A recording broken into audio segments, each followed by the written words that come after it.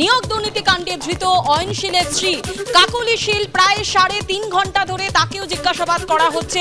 ইতিমধ্যেই আপনাদেরকে জানিয়ে রাখি তাকে অয়নশীলের স্ত্রী পুত্র এবং তার সংস্থার দুই কর্মীকে আজকে সিজিও কমপ্লেক্সে তলব করা হয়েছে।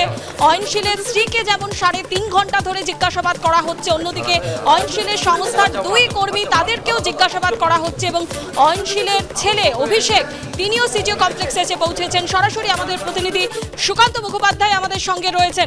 সুকান্ত, প্রায় সাড়ে তিন ঘণ্টা হয়ে গেল অয়নশীলের স্ত্রী কাকলি শীলকে জিজ্ঞাসাবাদ করা হচ্ছে এবং পাশাপাশি অয়নশীলের সংস্থার দুই কর্মী, তাদেরকেও জিজ্ঞাসাবাদ চলছে। কি খবর রয়েছে তোমার কাছে?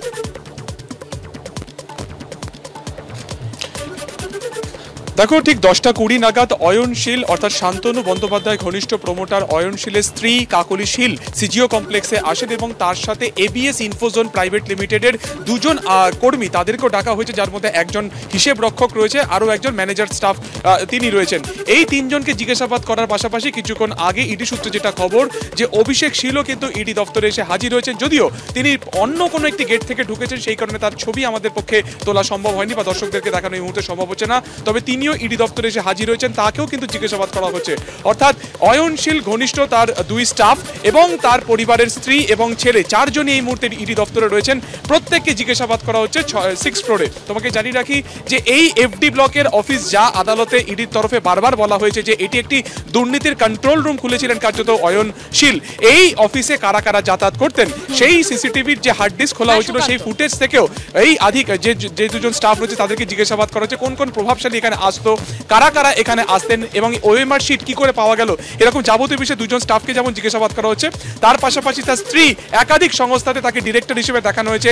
ছেলের নামে একটি ফসিলস নামে কোম্পানি খুলেছিলেন একটি পেট্রোল পাম্পর মালিকানাও তার নামে রয়েছে। ফলত তাদের বর্তমানের আয়ের উৎস কি? শেষ পাঁচ বছরের আয় ব্যয় সংক্রান্ত হিসেবও আনা হয়েছে। ফলত কোথাও না কোথাও শিক্ষক নিয়োগ দুর্নীতির ক্ষেত্রে টাকা সরানো হয়েছিল কিনা?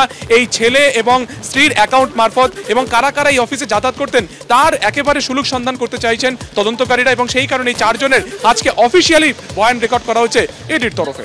ধন্যবাদ সুকান্ত। জীবন কৃষ্ণ সাহা, বড়বার তৃণমূল বোধা- বিধায়ক, তার দুটি মোবাইল ফোন দিল্লির ফরেন্সিক ল্যাবে পাঠানোর প্রক্রিয়া শুরু করল সিবিআই এবং ইতিমধ্যে আপনাদেরকে জানিয়ে রাখি, গতকাল এ বিষয়ে আদালত থেকে অনুমতি পাওয়া গিয়েছে এবং সিবিআই এর দুজন আধিকারিক এই দুটি মোবাইল নিয়ে সিবি দিল্লির ফরেন্সিক ল্যাবের উদ্দেশ্যে তারা রওনা দিয়েছেন। অন্যদিকে জীবন কৃষ্ণ সাহার আজ চার দিনের সিবিআই হেফাজত শেষে আজকে তাকে আলিপুর আদালতে পেশ করা হয়েছে। সরাসরি এই মুহূর্তে আমাদের সঙ্গে রয়েছেন আমাদের প্রতিনিধি ময়ূক ঠাকুর চক্রবর্তী। ময়ূক একদিকে জীবন কৃষ্ণ সাহার দুটি মোবাইল ফোন নিয়ে সিবিআই এর দুই আধিকারিক তারা দিল্লির ফরেন্সিক ল্যাবের উদ্দেশ্যে রওনা দিয়েছেন। অন্যদিকে আজকেই তাকে আদালতে পেশ করা হচ্ছে। আর কি জানতে পারছ তুমি?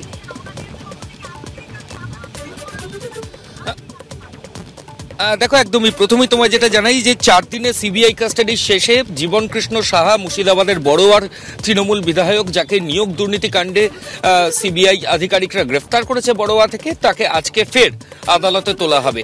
এবং চার দিন পর তাকে আদালতে তোলার পর সিবিআই এর তরফ থেকে আবার তাকে নিজেদের হেফাজতে নেওয়ার জন্য আবেদন জানানো হতে পারে। এমনটাই সিবিআই সূত্রে খবর, কারণ তাকে যে জিজ্ঞাসাবাদের প্রক্রিয়া চলছে, সেটা এখনও পর্যন্ত শেষ হয়নি এবং জিজ্ঞাসাবাদের অনেক অনেক নতুন ইনপুট সিবিআই আধিকারিকদের হাতে এসেছে এবং সেই কারণেই তাকে ফের নিজেদের নিজেদের হেফাজতে কেন্দ্রীয় তদন্তকারী সংস্থা তারা নিতে পারে এমনটাই সিবিআই সূত্রে খবর। এর পাশাপাশি তোমায় যেটা জানাই যে আহ, জীবন কৃষ্ণ সাহা তার দুটো মোবাইল ফোন তিনি যেটা পুকুরে ফেলে দিয়েছিলেন পরে সেই ফোন সিবিআই আধিকারিকরা সেখান থেকে রিকভারি করেন। সেই ফোন কিন্তু ফরেন্সিক সায়েন্স ল্যাবরেটরিতে পাঠানো হয়েছে এবং ফরেন্সিক সায়েন্স ল্যাবরেটরি থেকে সেই ফোনের যে ডেটা যে সেগুলো কিন্তু উদ্ধার করা অনেকটাই পসিবল হবে সম্ভব হবে এমনটাই কিন্তু সিবিআই আধিকারিকরা মনে করছেন যে ফোন পুকুরের মধ্যে পড়েছিল বলেই ফোনের কোনো ডেটা সেগুলো রিট্রিভ করা যাবে না।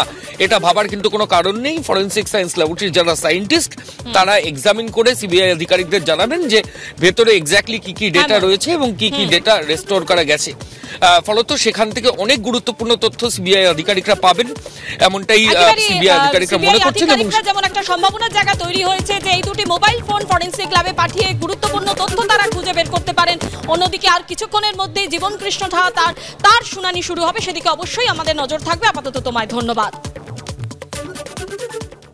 এই মুহূর্তে আপনাদের সামনে তুলে ধরবো জীবন কৃষ্ণ সাহা। চার দিন সিবিআই হেফাজতে শেষে তাকে আজকে আদালতে পেশ করা হলো বিজেপি সাংসদ লকেট চট্টোপাধ্যায়। কি বললেন? আসুন শুনে নিই। লজ্জার কথা মানে মোবাইল ফেলে দিচ্ছে পাঁচিলের মানে পাঁচিলে উঠে যাচ্ছে, পাঁচিল টপকে যাচ্ছে মানে এসব করে কোথা থেকে বাঁচতে চাইছে? মানে মানুষের কাছে তৃণমূল পার্টিটা একটা সার্কাস পার্টি, খিল্লি পার্টি হয়ে দাঁড়িয়েছে এবং মানুষ এটা নিয়ে মানে বুঝতে পারছে যে তারা তৃতীয়বারের জন্য কাদেরকে ক্ষমতায় নিয়ে এসেছিল। সিবিআই, ইডি তারা তদন্ত করছে, কিন্তু এবারে তৃণমূলেরই কোনো না কোনো বিধায়ক, মন্ত্রী এসব- হবে এইটুকু বলতে পারি। কারণ যা হচ্ছে সব ওদের ওখান থেকেই হচ্ছে। ছোট নেতা থেকে, যুব নেতা থেকে শুরু করে মন্ত্রী, এমএলএ, এমপি সব, সবই, সবাই মানে বিভিন্নভাবে জড়িয়ে যাচ্ছে। সেই জন্য তাদের কাছ থেকেই হবে এটুকু বলতে পারি।